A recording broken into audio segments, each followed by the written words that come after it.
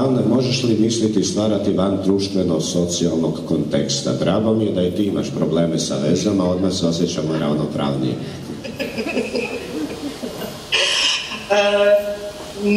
ne, ne mogu misliti, e, nažalost, e, ne mogu misliti pisanje e, van društvenog, političkog ili ekonomskog konteksta. Moram priznati da sam mnogo puta pokušala ući u nekakav tekst koji ne znam ili ima veze sa nekakvim zapisom, putopisom, čim god.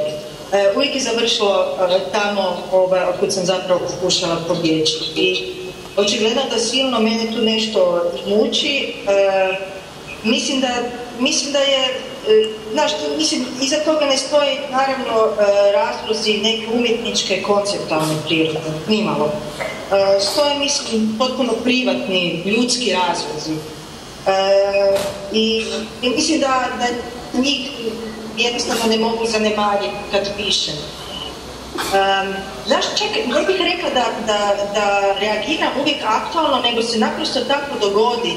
Naprimjer, kada sam pisala ženu Bogu, tada September 11 još nije bio, mislim, barem ne našem, ne? Ovaj, ali onda se dogodilo nakon dvije godine nego da se, se nažalost ono što se dogodilo sa, sa napadom u Norku. I onda naravno mislim na jedan prilično nespravedan način je tu i, i taj spomenuti ovaj tekst